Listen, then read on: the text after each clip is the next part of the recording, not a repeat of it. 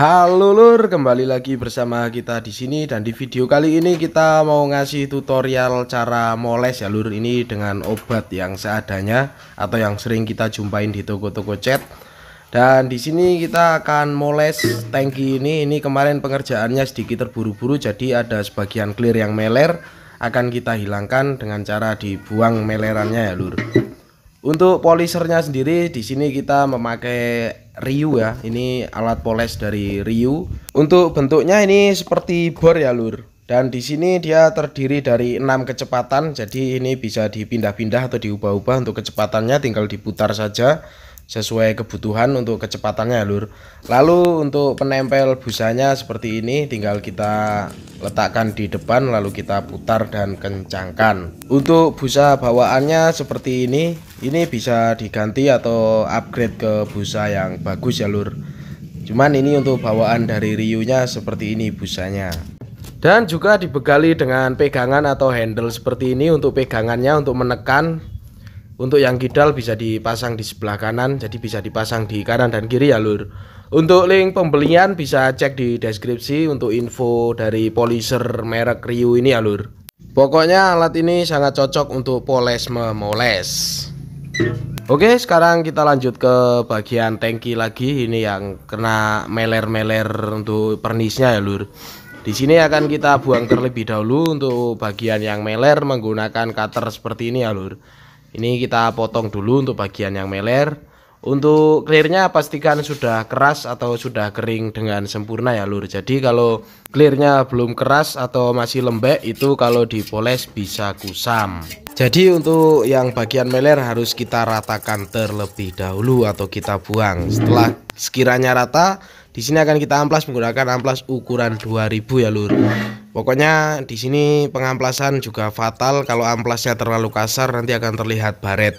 Jadi minimal menggunakan ukuran 2000 ke atas.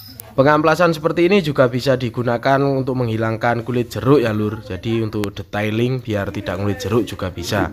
Dan seperti ini hasilnya setelah kita amplas ini terlihat kusam ya lur. Nah ini akan kita poles menggunakan obat poles atau kompon yang biasa ya lur. Ini harganya cuma 7500 Untuk di step pertama ini kita oleskan terlebih dahulu untuk di bagian yang kusam Atau di bagian yang kita amplas tadi oles secara merata, jangan terlalu banyak. Setelah merata, di sini akan kita poles menggunakan mesin poles Ryu ya lur. Di sini menggunakan kecepatan nomor 2. Jadi untuk di step pertama jangan terlalu kencang.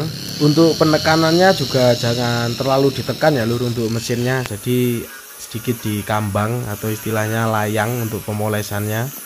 Jadi untuk step pertama seperti itu ya lur. Menggunakan kompon putih atau bisa menggunakan kompon yang berwarna hijau Yang daya kikisnya tidak terlalu besar. Lalu kita lanjut ke step kedua. Di sini ada wax dan juga kompon putih tadi. Di sini akan kita campur ya lur untuk di step kedua ini. Dan ini bisa untuk body-body yang kusam itu bisa menggunakan step ini Yaitu kompon atau rabin putihnya. Kita campur dengan wax kita oles secara merata seperti ini. Lalu untuk mesin polesnya kita naikkan di angka nomor 3 untuk kecepatannya. Lalu kita poles lagi. Untuk di step kedua juga jangan terlalu ditekan untuk mesin polesnya. Jadi tetap masih sama kambang dan layang saja. Poles secara merata dan menyeluruh di bagian yang kusam jadi untuk step ini bisa digunakan untuk body-body standar yang sudah terlihat kusam karena clearnya sudah berumur ya lur. Ini bisa dikilapkan lagi dengan metode seperti ini. Nah oke okay, ini setelah beres di step kedua di sini akan kita lap terlebih dahulu dan kita akan lanjut ke step ketiga atau step terakhir untuk step terakhir atau step ketiga di sini akan kita pasang saja untuk tangki motornya karena ini akan perlu kita tekan untuk pemolesannya. Dan di proses akhir di sini kita ada wax. Jadi untuk proses terakhir kita hanya menggunakan wax saja ya lur. Ini bisa untuk seluruh bodinya atau di bagian yang kusam saja juga nggak apa-apa. Untuk kecepatan kita naikkan lagi. Kita naikkan di angka nomor 5 setelah itu kita poles dengan cara ditekan. Jadi untuk mesin Ryu ini enak ya lur untuk moles ya lur. Karena kecepatannya bisa diubah-ubah dengan tombol putar yang sangat simpel dan sangat mudah digunakan ya lur. Pokoknya sangat cocok buat teman-teman yang suka moles-moles motor ataupun mobil. Ini mesin memang sangat simpel dan murah pastinya.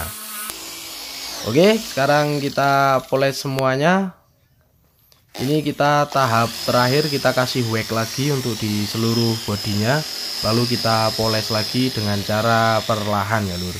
Jadi untuk proses ketiga saja yang ditekan untuk proses pemolesannya. Untuk di tahap air ini tidak terlalu ditekan nggak apa-apa karena ini hanya untuk mengkilapkan saja.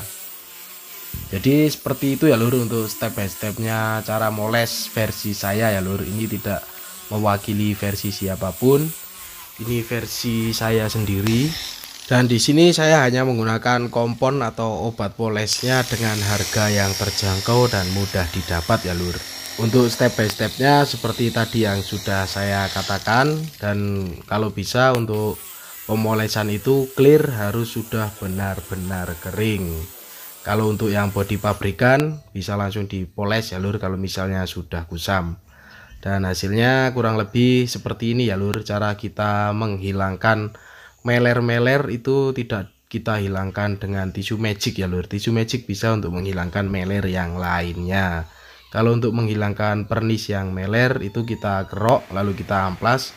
Selanjutnya kita poles dan hasilnya seperti ini jadi seperti itu ya lur untuk step by stepnya moles dari kita dengan versi kita yaitu sangatlah mudah dan simple dan murah pastinya untuk teman-teman yang bodinya sudah kusam bisa dipoles dengan teknik tadi untuk body pabrikan yang sudah kusam bisa langsung dipoles menggunakan step pertama, step kedua dan ketiga ya lur.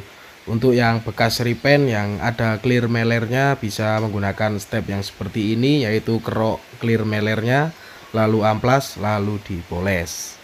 Nah oke lur jadi kurang lebih seperti itu yang bisa saya sampaikan di dalam video kali ini Terima kasih sudah menonton jangan lupa makan, ngopi dan juga terus berkarya dan nantikan terus video-video seputar pengecatan dari kita dan juga info-info lainnya seputar pengecatan ya lur. Di subscribe biar gak ketinggalan. Besok kita kasih lagi tips and trick cara moles dengan modal yang murah pastinya. Oke lur, thank you.